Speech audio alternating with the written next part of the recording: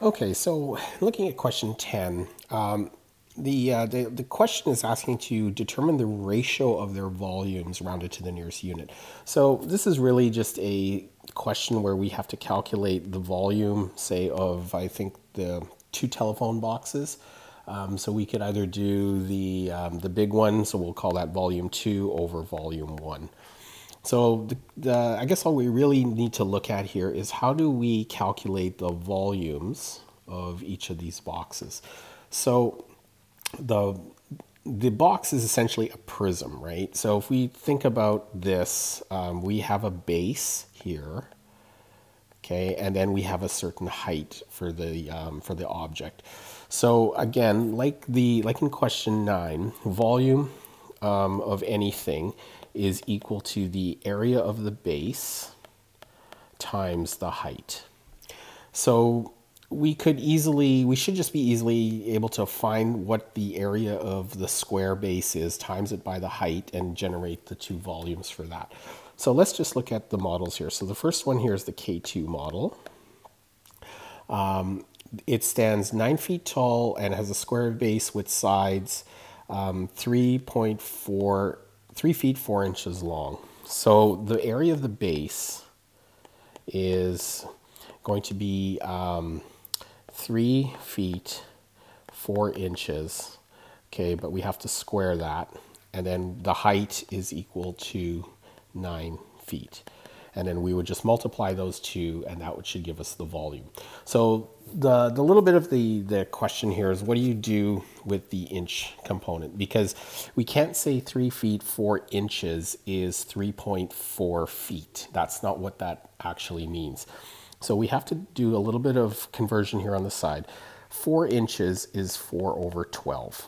There are 12 inches in a foot and we're taking four of those inches. So that's equal to approximately 0.33.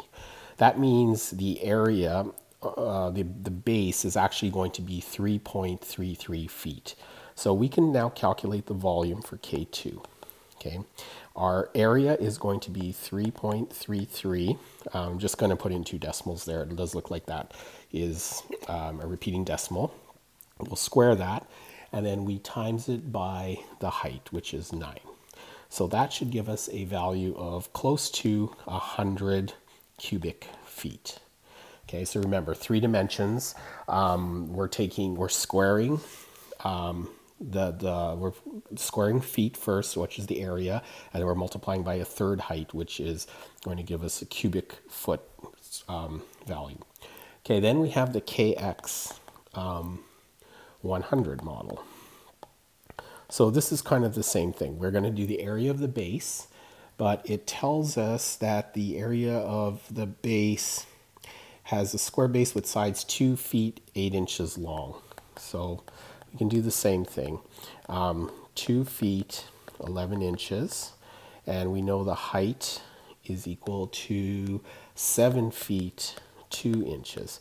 Okay, so now they're forcing us to do a little bit of a conversion um, for both of these here. So let's try to squeeze this in here. We know 11 inches is going to be 11 over 12. Okay, that is going to give us 0.917 feet.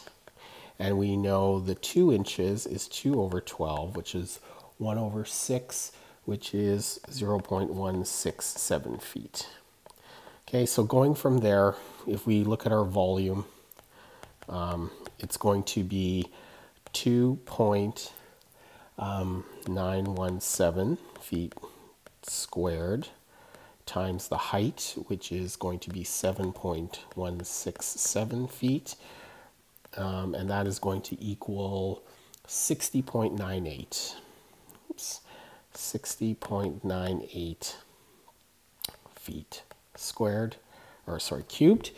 And then if we were going to do the ratio of the two, we can just simply go 100 over 60.98. Um, and we should get a value of, um, uh, probably just leave this as a decimal. Um, we can do 100 divided by 60.98, which is going to give us 1.64 over 1. So that means the volume of the the large, the K2 model is uh, 1.64 to the smaller one. Okay, now I think they do try to convert this to a fraction. 1.64 is like a hundred, close to 165 over 100. And then if we reduce that, um, we get an approximate uh, value here of approximately 5 thirds. Um, but I think if you get it to this decimal spot here, that's um, should be uh, good enough for an answer. Okay, so that's how you do that question. The, the trick in this one is just converting the fractional inches into decimal feet and then putting it together.